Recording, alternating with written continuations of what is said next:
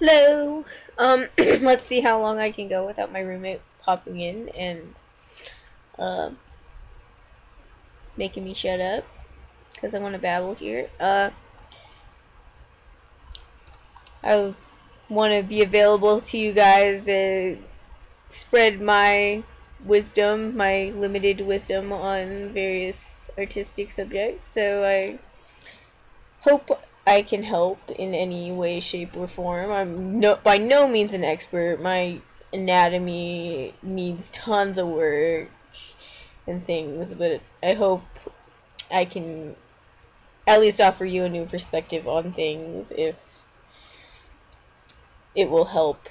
Um, so I have had a couple questions. I I'm, I was pleased that I had a few responses. Um, I think the one I'm going to deal with first is uh, let's see how would we word this um just like cartoon body types and things and this is something I've obviously had a lot of fun with um see where to start um I don't know how artistically experienced you lot are and I'm guessing there's probably um, a spectrum out there of people who are various places in their drawing. Um, so forgive me if I reiterate something that seems very basic. Um, sometimes the basics, I mean, there's a reason that they teach you the basics, and it's only been now that I'm really starting to get that. So I guess we'll start with, um, I know you saw, you all saw the rectangles video, hopefully. If you didn't, you can see it on my YouTube. Um, I'll link you, just ask me. Uh, um, and that's kind of, that was kind of a really, really simplified, you know, version of what I, I kind of employ whenever I draw.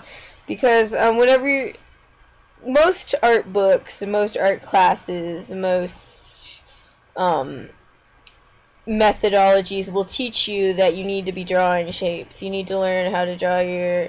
This is gonna look really crappy, but most of my sketches in this session are probably gonna be really, really crappy. But um, they teach you that you need to learn to draw basic shapes like squares, boxes, well, boxes, spheres, cylinders, and when I was a younger artist, um, I used to think this was a lot of BS. And it was really time consuming, and I didn't really think about it. And it's only been recently that I realized that this, knowing what a shape looks like in space, is the key to figuring out how to draw from your imagination or something. Because if you can draw, if you know what a cylinder looks like in space, you can learn to draw it at angles and things.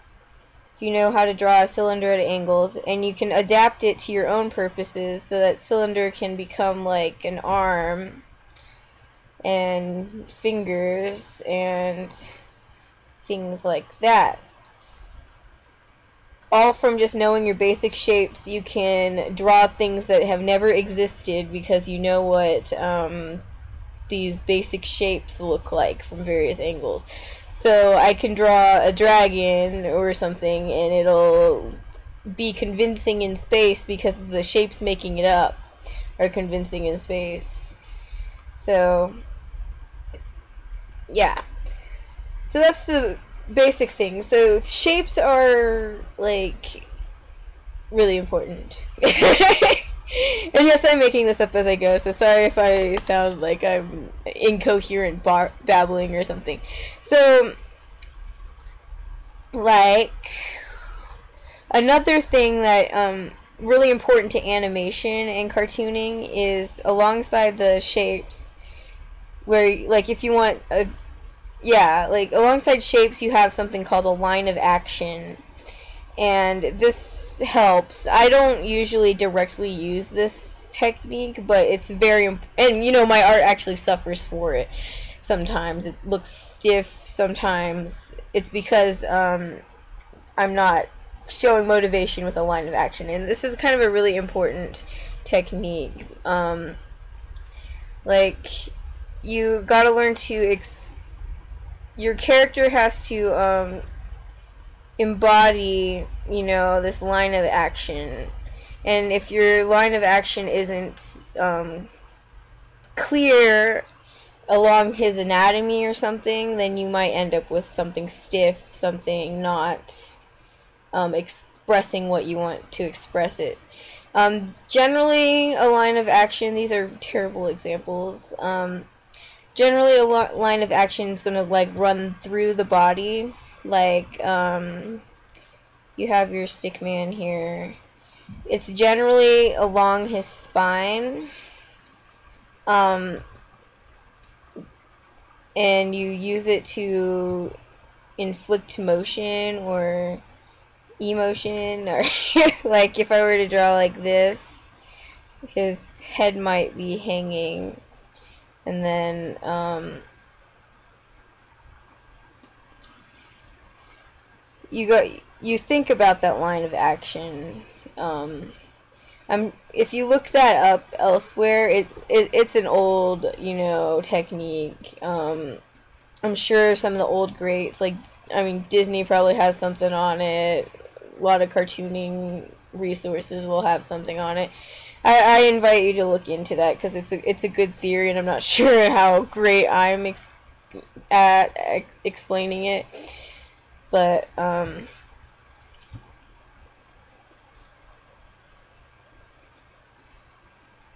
It, it, it's roughly the spine, but um, mostly it's it's the overall. And that's another thing is um, to cartoon it all, you need to draw from life. And I know that the person who asked me this, they say they can draw from life pretty well. So um,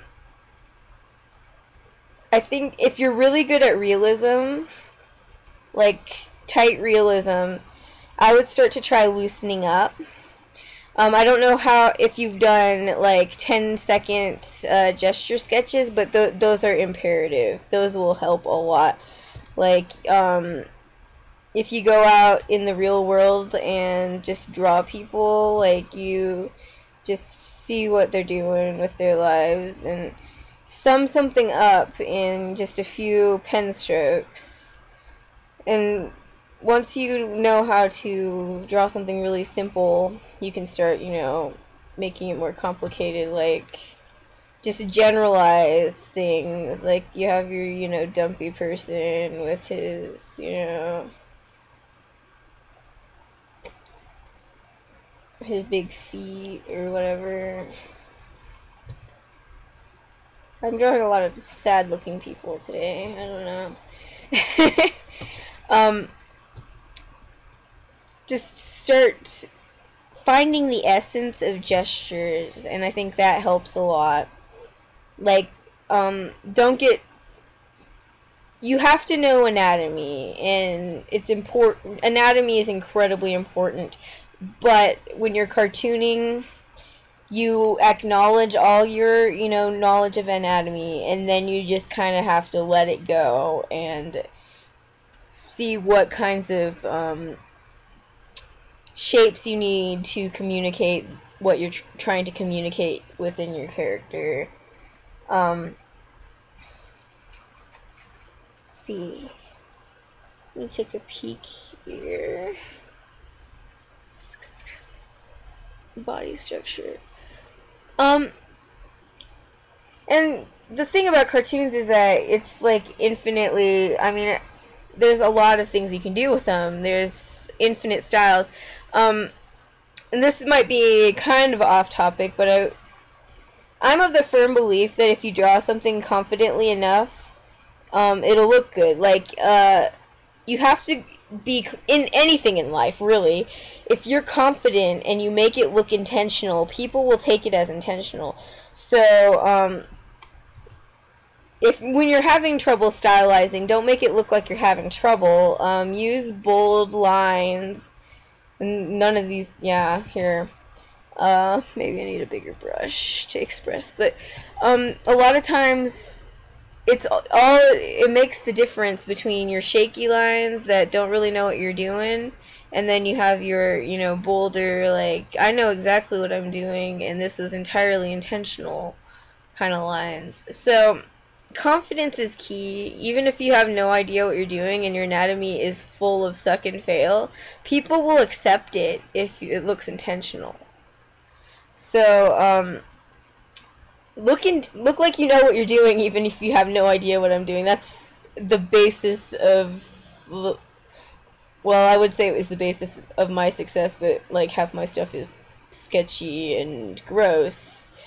But I mean, the point remains like um, you'll see those professional scribbles by like Tom Owens or all the other storyboard artists that I mean they're not anatomically sound necessarily or anything, but just because they had such confidence in the swoosh, swoosh, swoosh, swoosh, you know, um, it looks intentional, it looks solid, and it looks good. So that's another thing um, that can really help, you know, tighten up your pictures is looking like you meant for things to be the way they are. Like, um, let me see. I might have some good examples of something. Let me see if I have something. and again, forgive me, I'm just kind of, I thought about this beforehand, but I'm kind of just making it up as I go, so it's probably kind of not very structured.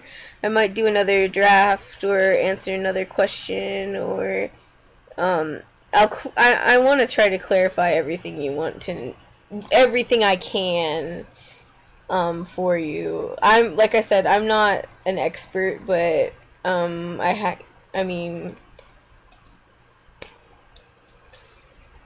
like this one is kind of a decent example. I don't know crap about foreshortening or anything. Um, if um, and there's some stuff that's intentionally kind of scribbly here, but I just kind of went for it.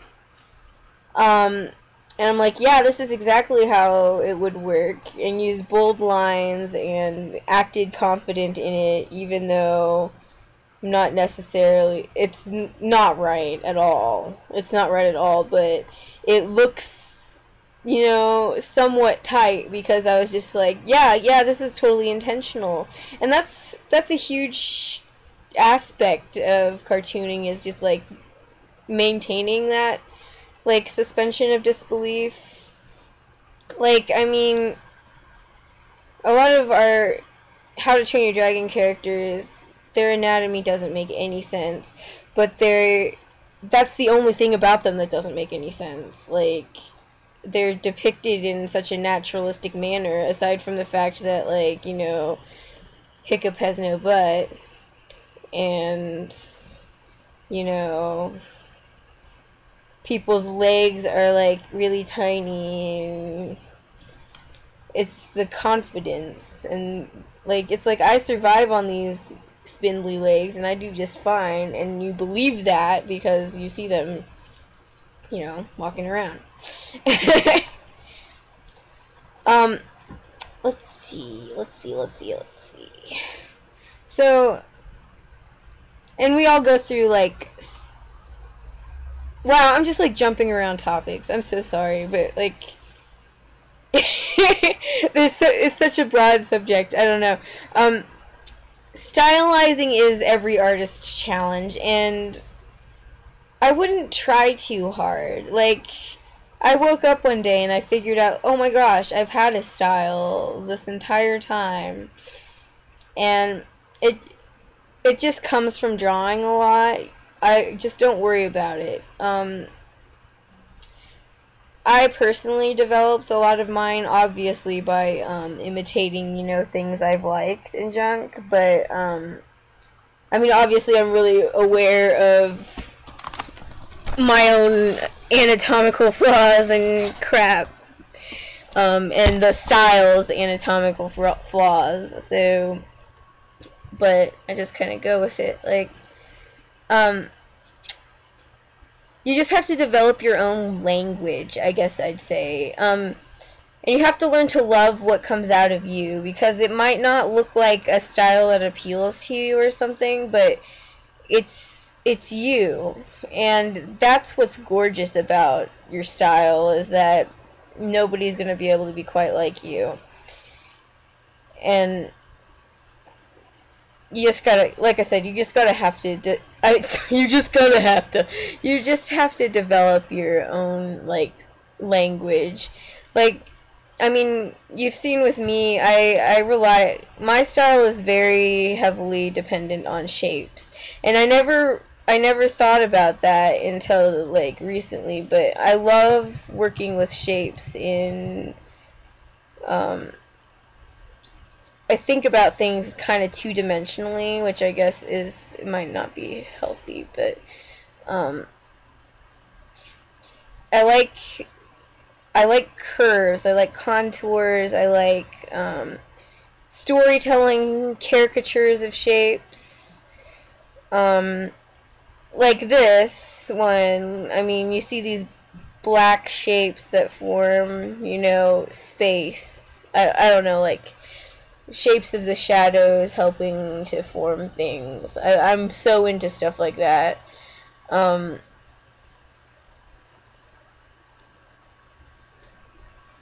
like everything's kind of simplified into like I have you know these folds in clothes that I always draw and my hands are really stylized. I can't draw hands with crap, but um, it's just it's just a language you kind of have to develop for yourself. And I mean, I I ha- I tend to be kind of suited toward cartoons, but it shows up in my like pseudo realistic styles too. Um, is I like to shade in, you know, distinctive shapes. I like to see things in shapes. And that's that's just me. Other people have different ways and it, it's interesting because like I mean, it's just an expression of how our brains are all different, you know? Like, the way we think about things and approach things is all different. Um, the, the cartooning is such a freeing form though. Like you are free to tweak people in any way to tell their story and um so you got you get to pick you know the shapes that you want to emphasize that. Like you have you could have like a hero guy with like these pec sores and and just kind of base it vaguely off of human anatomy. Just like what kind of shape is a hero? What kind of shape is this villain? What kind of shape is courage? What kind of shape is jealousy? And you gotta you you get to be cheesy. You get to be stereotypical or you can break stereotypes and use them that way. Um like his arms are more like here like his arms are the important part so his legs aren't and that's that's what how to Train Your Dragon does a ton too. Like you got, you know, this is my the important part of my Viking, and then he's got feet. His feet aren't that important. So, and look at my artistic expertise. I, I just, you guys support me in all my endeavors, and clearly this is worthy of praise. Um, like, what is most important about the character? Like, is it his head? Is it his muscles? Is like cartoons throughout history have kind of developed a you know language of tropes for us to kind of use and abuse as it were and i mean if you've seen a ton of cartoons you know this like you know the big fat bully or the you know skinny sleazy kid or um the girl. There's not enough girl archetypes yet still in uh this kind of thing but uh it's it, it's really a language that I mean you gotta you gotta just love looking at other people's stuff and interpreting other people's stuff and I'm not saying fan art is even a good place to go and that's kind of the path I've taken I'm not I'm not strictly proud of that but I do think that um, I've learned quite a lot by you know emulating styles, interpreting styles, um, interpreting other people's stories. Um,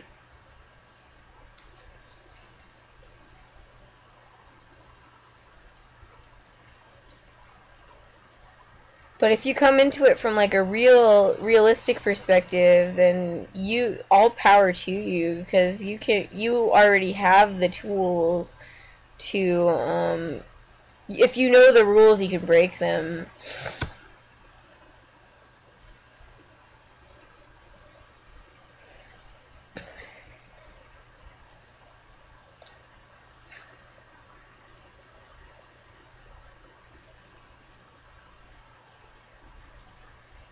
Because, I mean, I, I don't know. Like, I can sit here and I can talk about, you know, how shapes work for me.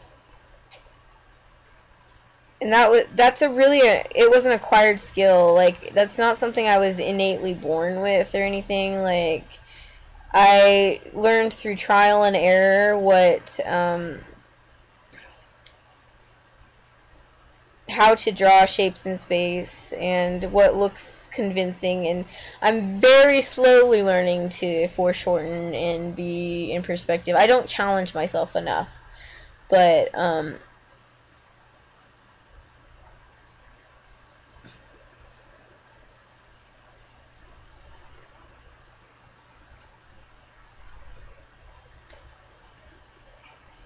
it's really just I mean, drawing is not easy and it it's not something that's to come like I mean, I was reading one of the blogs I watch on Tumblr is like artist confessions and some person was all like "Oh, being an artist is like climbing a mountain and when you get to the top it's a wonderful feeling." And I'm like, "What artist ever reaches the top?" Like it's always about it's perpetually about getting better. I was like any decent artist is on an escalator going backwards and you're like maybe it's going slowly backwards, but you you're trying to like go uphill and it's not always going to be going with the flow. You have to um, fight your own um, insecurities and your own you know, weaknesses and your own lack of motivation and just let yourself draw. And that's something I've had a lot of challenges with as in my journey as well, but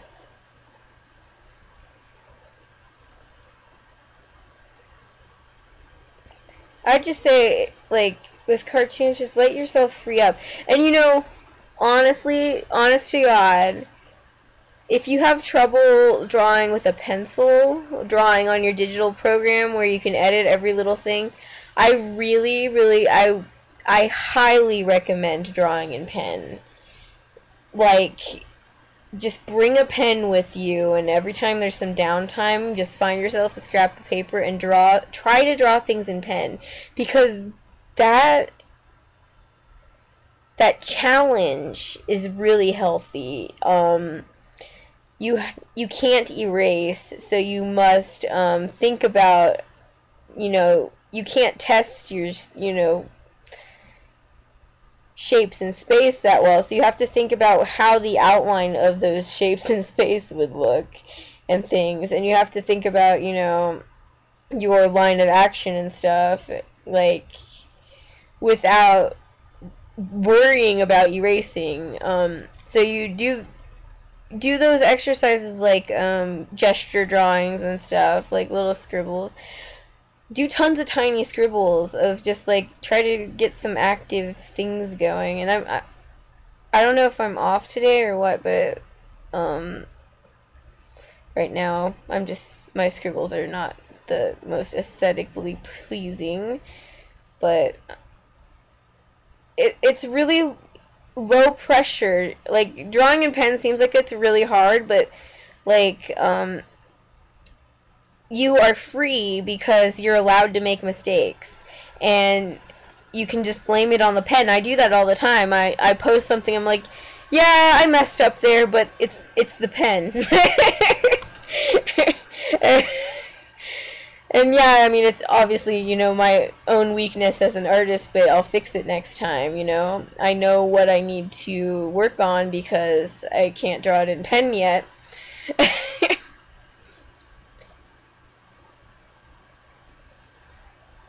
but, I mean, like, just work on skeletons. I just don't even worry about elbows if it, it doesn't help you. Or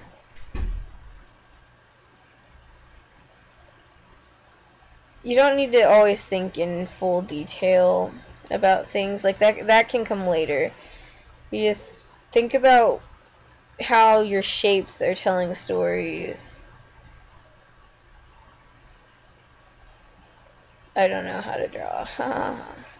What am I talking to you guys about? I don't know how to draw. Um